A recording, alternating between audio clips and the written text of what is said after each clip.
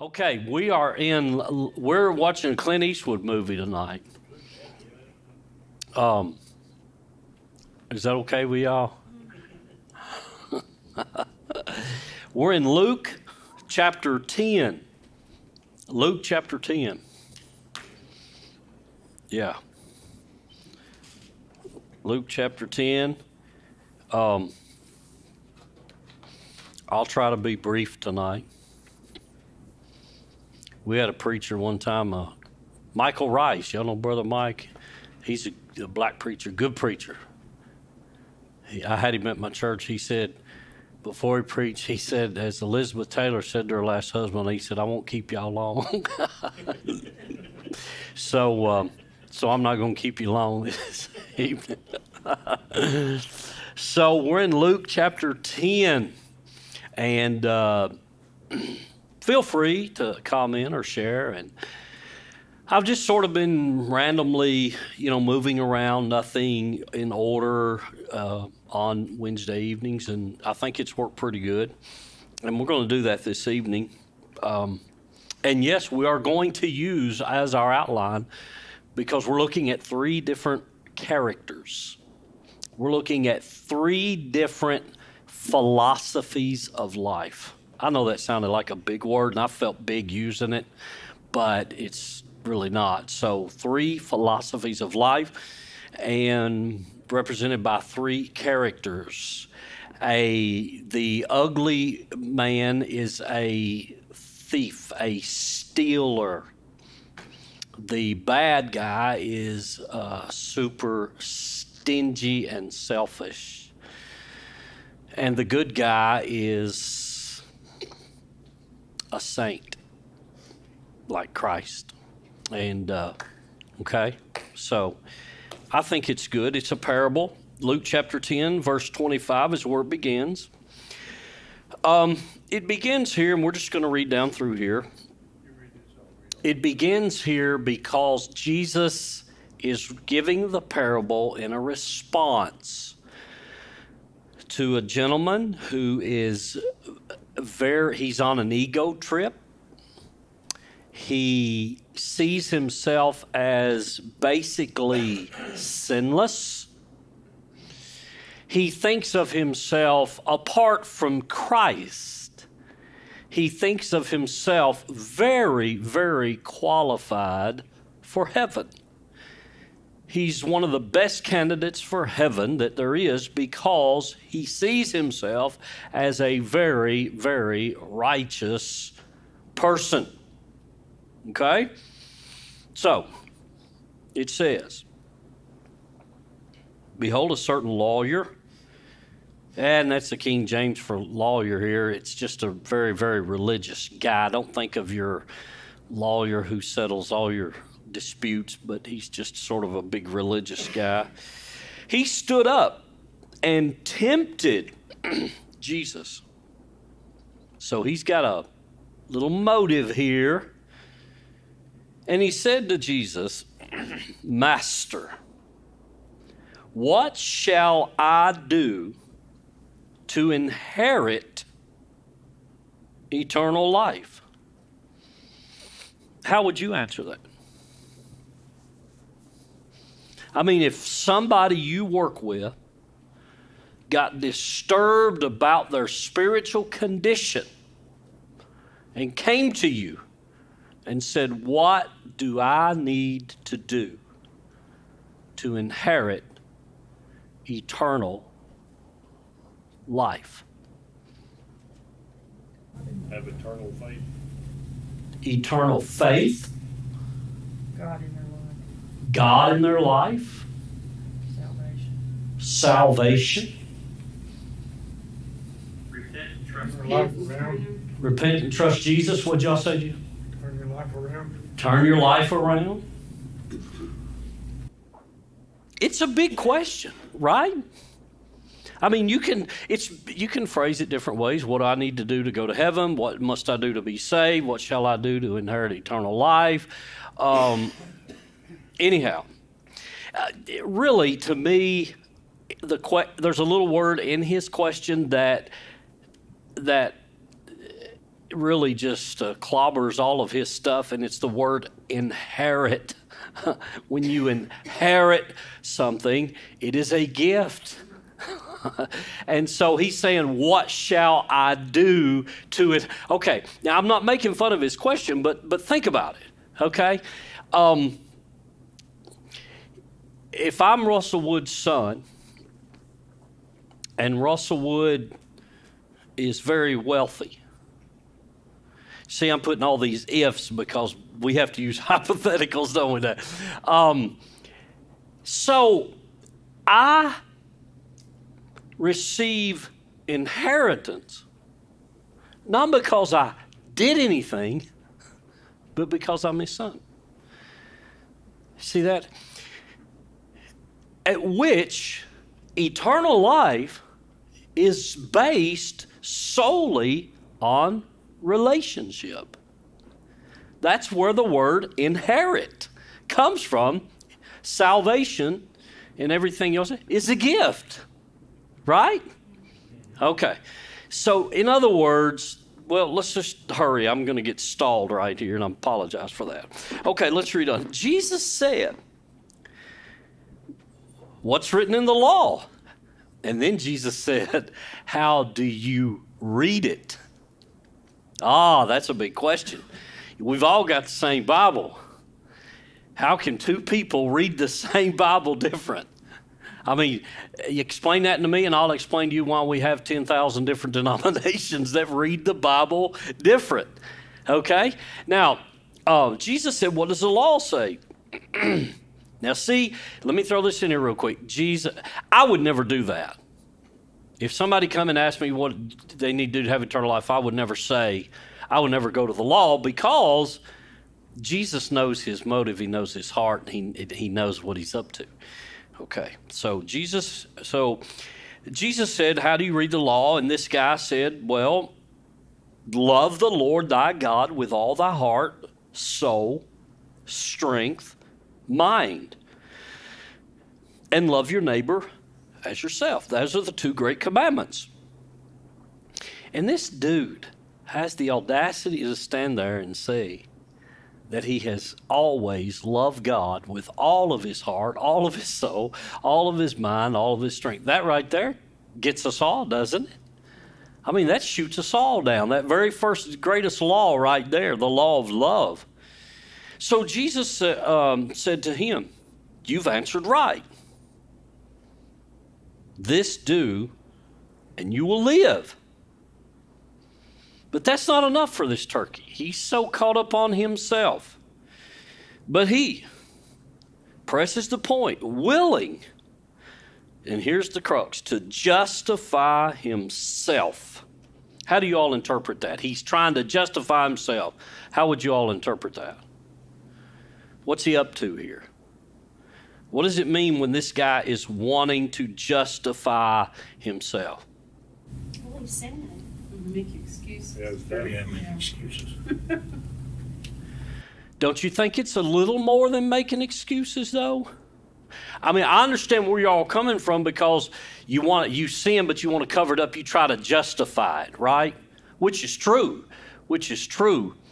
But uh, at the same time, on the flip side of that coin, you got to remember now this guy really, really sincerely believes that he is good enough to go to heaven. How many of you feel that way? How many of you, I mean, in all sincerity, and we're not taking it lightly, how many of you feel, even now, knowing that you're a Christian, how many of you feel unworthy to be in heaven? And I mean, we're sitting here thinking, how, how can any person look in the mirror, spiritual mirror of their life, of their actions, of their thoughts, and, and say, I can do this without Jesus? Me and you are scratching our heads. We're like, who would do that? Millions. Millions. And you know how they do it? You know how most people justify themselves? They compare their life with somebody they think is less than them. You see, that's why 20/20 and all these places like to pick out preachers on TV that fall and, and get us all in one sweep. You self righteous people. So they sit at home unsaved, looking at us. Well, I'm as good as they are. But you and me know we're not the measuring stick. What is God's measuring stick? Christ. Jesus. Yeah, yeah. Any, nobody's lived up to that. Okay, so this guy is literally thinking to himself, "Hey, I've did all the commandments. I'm, I'm, I'm good." And so he says to Jesus, wanting to tempt Jesus, "Who is my neighbor?" Oh, and then Jesus, Jesus takes his inside out. He turns it inside out, upside down, and at the end of this parable that you're all familiar with, Jesus does something that you're not expecting him to do. Okay? So let's play it out. So here's the ugly in our outline the good, the bad, and the ugly. Here comes the ugly.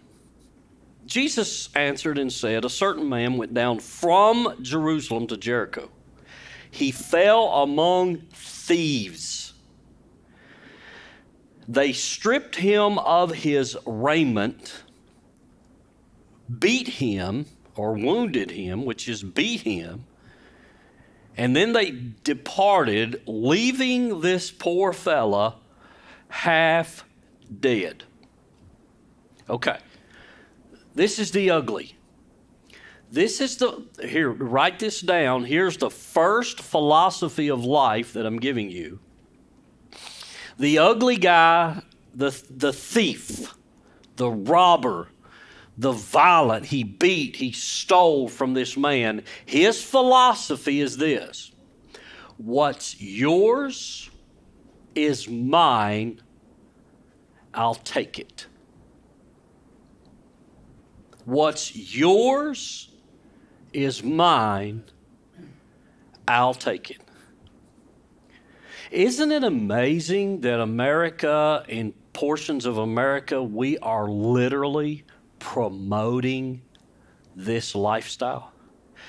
Did you know you can go into stores in California and steal, but as long as you keep it under thousand bucks, that's your right. We are promoting what's yours is mine. I don't mind paying taxes. This is why I voted for a particular president and did not vote for a president because I wasn't voting on personality. I was voting on policies and I was voting against socialism. Socialism says Kevin makes more than Les. That's not right. Let's take from Kevin and balance it out to Les. Even though, and I know Les works very hard, but this is just an example, Les, I'm not picking on you. Even though Kevin works hard and Les doesn't, it's not right. Socialism says what is what is yours is ours. We will take it. And socialism is a subtle form of stripping you of your stuff. It's deadly. It's it's on the verge of communism. The only difference in communism and socialism, in communism, you have a dictator. In socialism, the government is your dictator. And, and we have promoted this. We have Christians, so-called Christians, have voted this in. But it's and so now you see, just like the riots that we sat and watched riots, and people go in and steal because that philosophy of life in a rational, reasonable person's mind is like, that is so wrong, but we see it today being promoted, which is very, very wrong. And, and I hope that's not you and I. There, there are people who live by this philosophy, and they'll say, I don't care who I step on, I am going to get that promotion. I don't care who I hurt. What's yours is mine I'll take it. And it is a very, I mean, you're just sitting there thinking, Brother Bobby, tell us something we don't know. And, you know, that philosophy of life is just wrong. And yet you and I have to be very, very careful. Because when we were kids and we wanted our friend's toy, we grow up and we want other things that don't belong to us. Amen? Any questions or comments on that? So we ain't got to the punchline yet for the for the young man who's trying to justify himself. So verse 31 and 32, we have the bad guys. We had the ugly one. So we have the bad guys. These are um, for 2022 layman terms. These are uh, religious people. I don't want to say church members because that picks on us and we shouldn't be, but anyhow, so by chance there came a certain priest that way. When he saw this guy who was laying there half dead, now, I shouldn't bring this up. It just popped in my mind. Let me let me hang on to it, and if I need to, I need to. I want you to put yourself in, in, in, in this man's shoes. So you're coming down from Jerusalem to Jericho and, and, and you see a guy half dead. I mean, he's, he's, it's obvious he's been beaten and robbed. Okay. What, what's your instinct?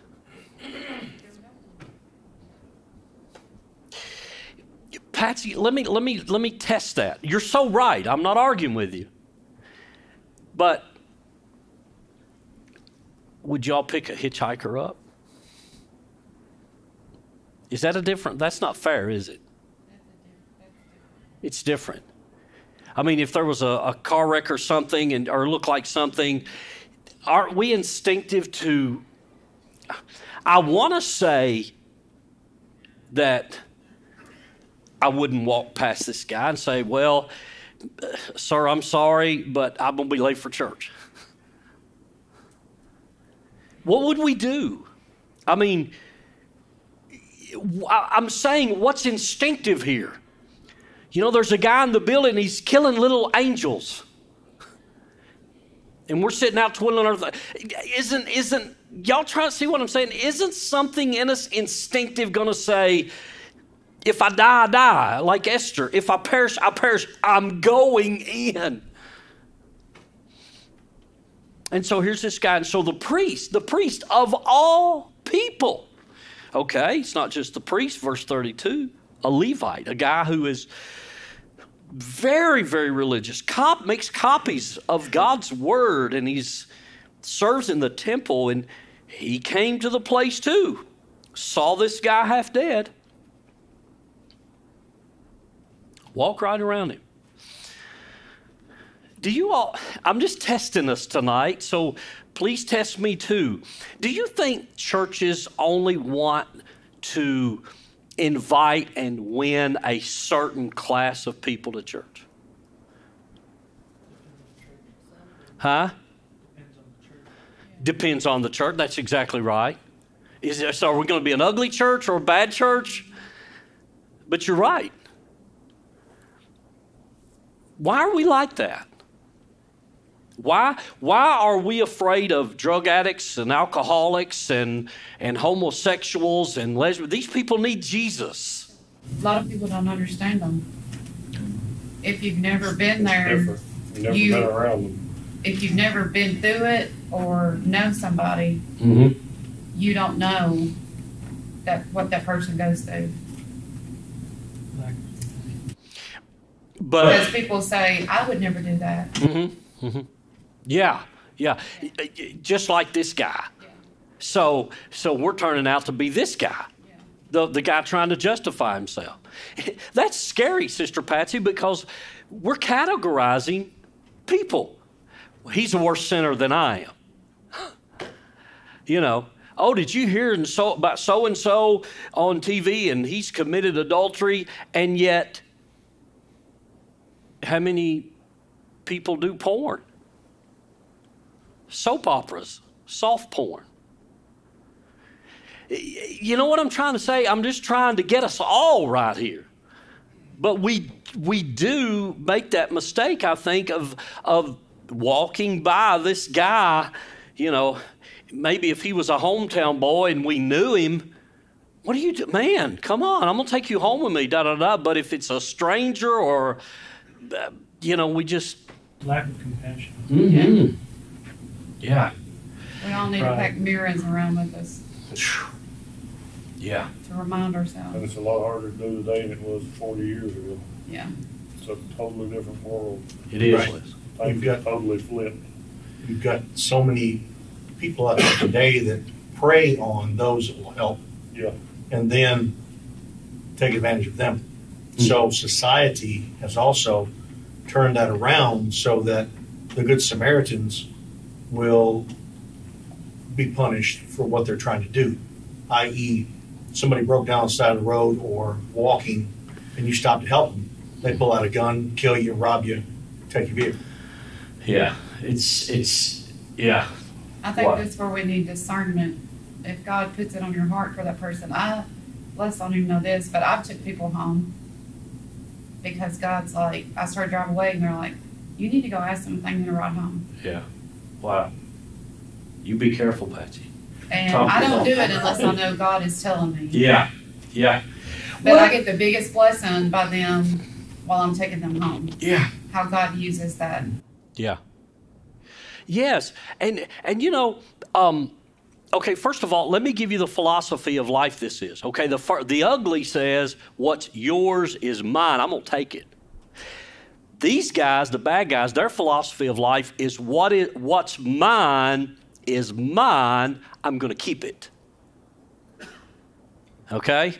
It's it's it's like getting saved, put it in a little napkin, and put it in your pocket, and you don't do anything with it. Um, and I want to tell you one of the most powerful parables that Jesus gives, and he gives this. You can read it when you get home. We don't have time tonight, but it, I think it's in Matthew 25. It refers to how Jesus is going to separate the sheep from the goats at the judgment. And he says this At the judgment, Jesus is going to say this What did you do about these people that needed me, like this guy who was half dead and passed by? Jesus is going to look at the goats and he's going to say, I was hungry, you never fed me. I was naked, you never clothed me. I was in prison, you never come to see me. I was thirsty, and you never give me a drink of water. And they said, Lord, we never saw, when did we see you hungry, naked, thirsty? And oh, Jesus said, in the least of these.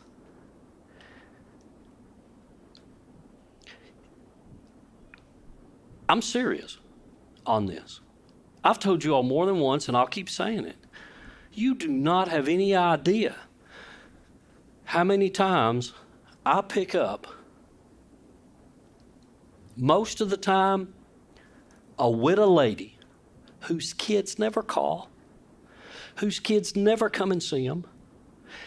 How many times I've left nursing homes and they will say, so her daughter's going to meet you there, and her daughter's never there. What I'm saying is, have we forgotten about the people that can't give anything back? You know what makes me so mad? I'm sorry, y'all. It makes me really, really, really mad because I've even heard preachers, and I'm not picking on preachers. Thank God this is a, a rare breed, but I've heard it said the people we want to bring into our church, we want tithers. We want money people. That's what's happened to the church. That's what's happened to the church. Nobody wants to minister to somebody who can't give you nothing. The least of these. And Jesus says to the sheep, I was thirsty. You gave me a drink of water. I want, can I tell y'all a quick story? Uh, you ever got a spanking from God? This is a day at TJ Samson Hospital. I got a big spanking from God, but it it it, it did change me. It did change. It, it changed a lot of my thinking. It's really short, and I'll share it with you. Um, I have two good brothers in the Lord, Donnie and Jason Perry. Met them at Shady Grove, become just wonderful men of God. Love them to pieces, love them pieces. So anyhow, I'm at TJ Samson and I'm visiting, and I come on this room coming off the second floor and I hear this old woman groaning real loud. Oh, and I peek in there and nobody's in there. She's got an old coal rag over her head. And so it happened to be Donnie and Jason's mama. And when I got in there, and I, so I went over to the bedside, and she could hardly talk, had the rag on her forehead, barely got her eyes open, and I, you know, told her who I was, and I seen her looking at this cup of ice sitting right there, like, I want some. So I get the cup of ice, little styrofoam cup of ice, and I get my little plastic spoon, and I put some in her mouth, and she's just like steak. Now, get this. I'm embarrassed to tell you this, but I, I, think it fits the point. I'm standing there like this stupid little guy tempting Jesus in my little stupid preacher arrogance. And I'm feeding this old woman ice, thinking, I could be preaching a great revival. I could be winning people to the Lord. I could be doing so much stuff. And I'm sitting here feeding this old woman ice. They ought to be here doing it. Oh my goodness. And immediately, Jesus said to me, That's me in that bed. Whew, I get chills. That's me. If you've done it unto the least of these, you've done it unto me. You talking about a spanking. You talking about wanting to get down in your shoes and hide.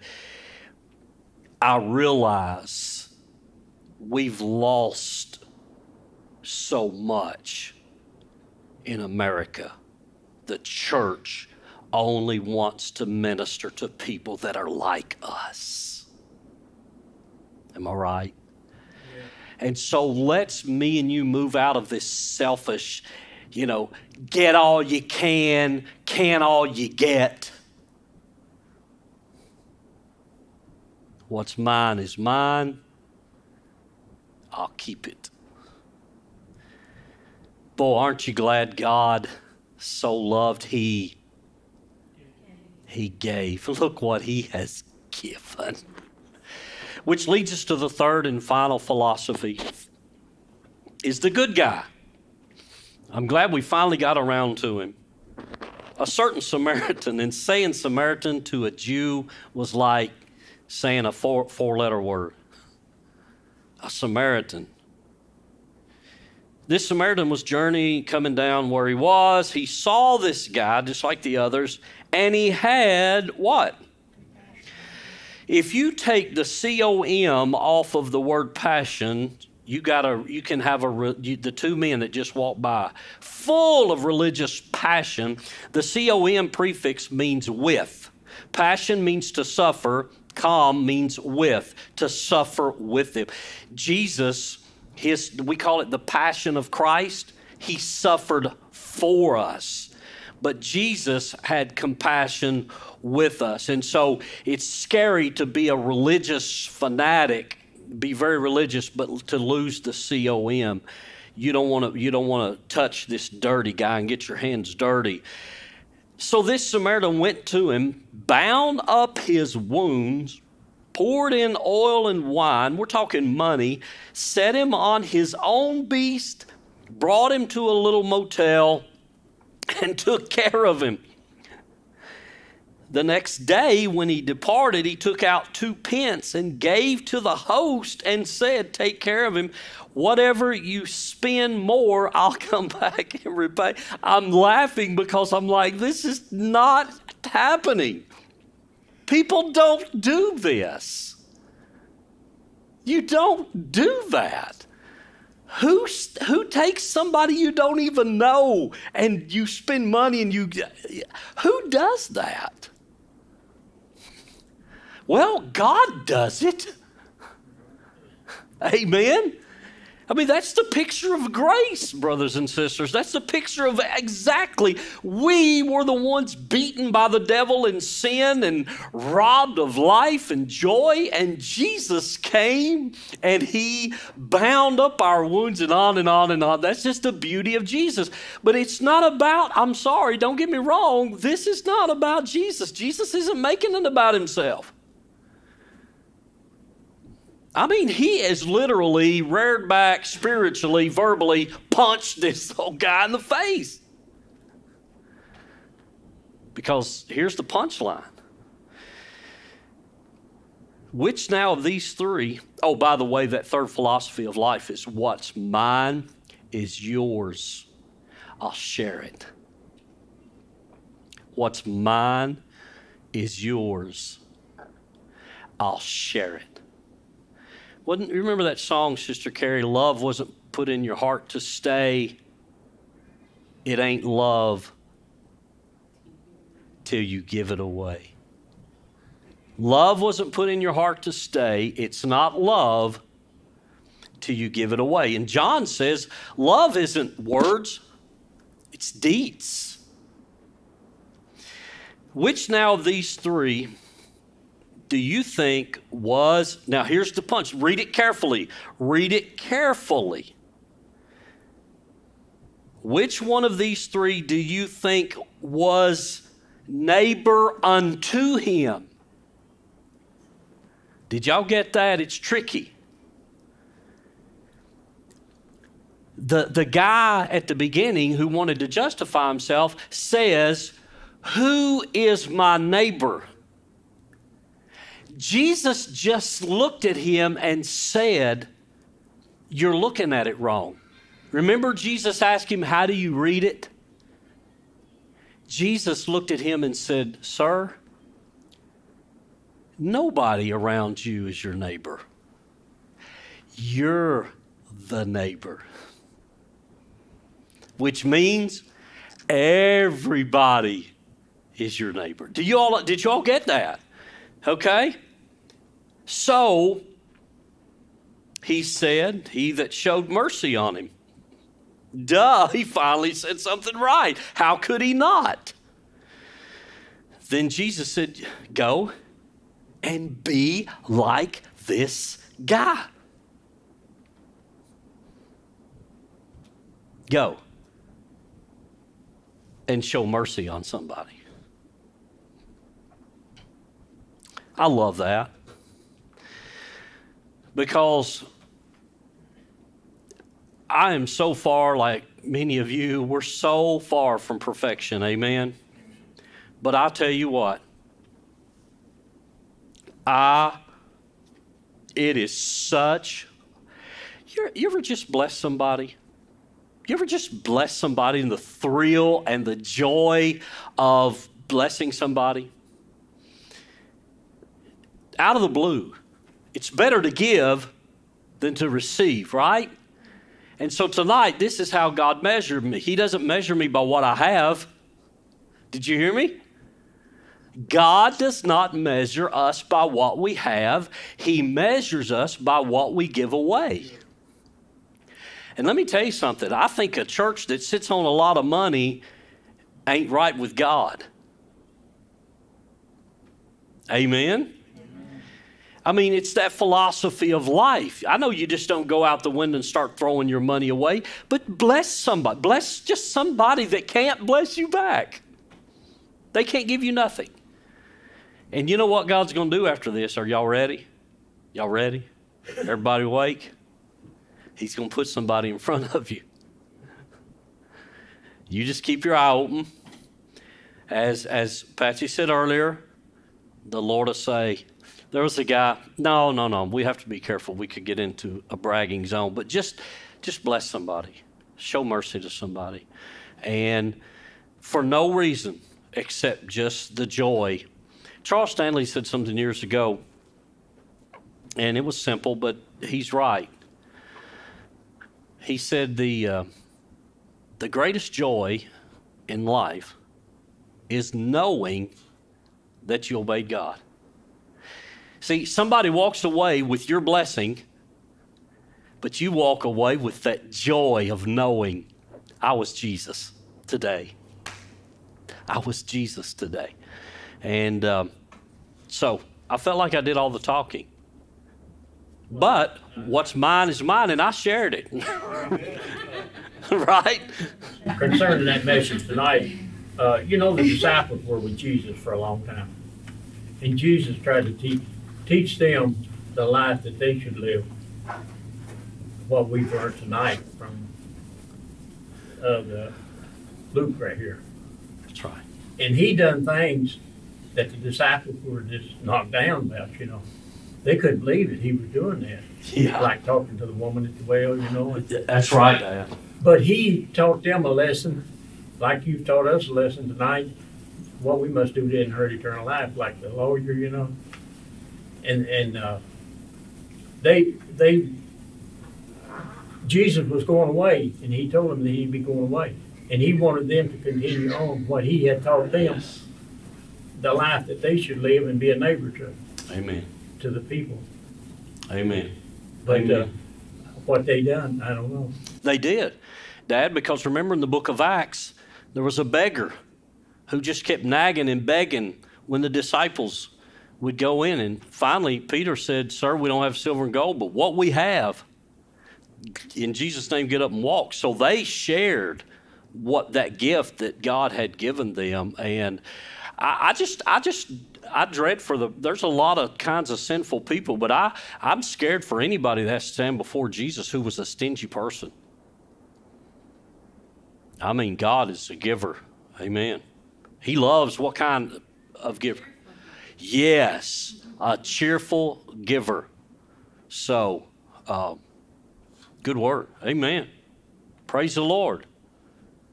Any questions? Any comments? Any additions? Reckon what happened to the lawyer? The lawyer? good question. Good question. Hmm. He had a choice. He was told by Jesus what he must do, Go and do it. and they said that they they uh, had a, had a prayer on that Deuteronomy six five twice a twice a week or Oh, twice a day, yeah. twice a day, I think. Yes. Wow. Wow. And that's what he quoted to Jesus. Deuteronomy six five. and he, he could say it right. It's scary we know how to talk Bible, but not just bless somebody, isn't it? Yeah. Amen.